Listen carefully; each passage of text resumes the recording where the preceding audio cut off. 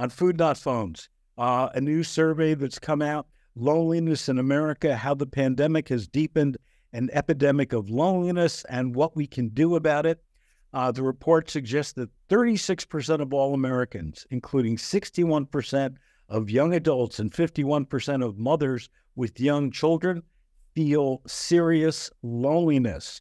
That leads to depression, anxiety, heart disease, substance abuse, domestic abuse, all of those. And to be honest with you, um, in in looking at this, I found um, an outreach that I wasn't familiar with. I don't know whether you are familiar with it or not, Sally, but it's called the Friendly Bench Program, and basically they provide benches, outdoor seating areas that connect strangers with nature you know, we really need to, as you know, we've talked about hundreds of times, we really need to put down our phones um, during meal times, connect with other people, and even beyond meal times. Um, whether we attune with nature, attune with other people, but when we have these epidemics um, about loneliness, um, it's it's a huge problem that we've got to figure out uh, before it's too late. Agreed, Phil. And I love the friendly bench idea. That that's a great strategy to get people um, outside, connecting with new people, and like you said, connecting with nature. Um, you know, Forbes did a survey on New Year's resolutions for 2024. And um, 36% of people said that they want to focus on their mental health.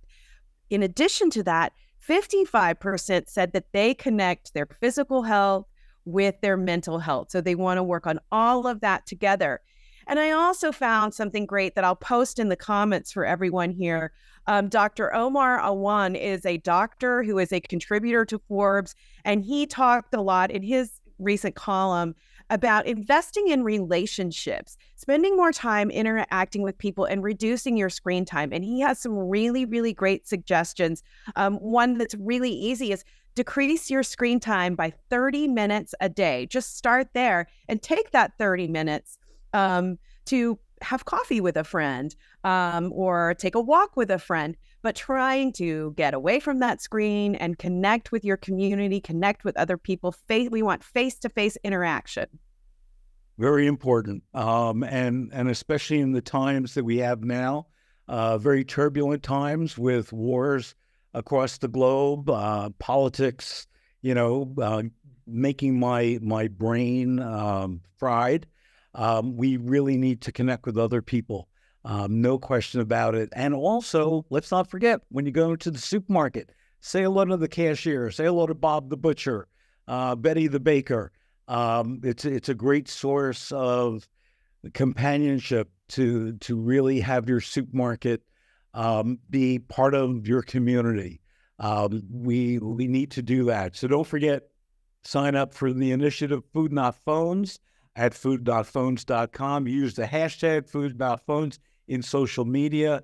And let's, you know, as our New Year's resolution for 2024, all resolve to be nicer uh, to each other and more friendly and have better relationships.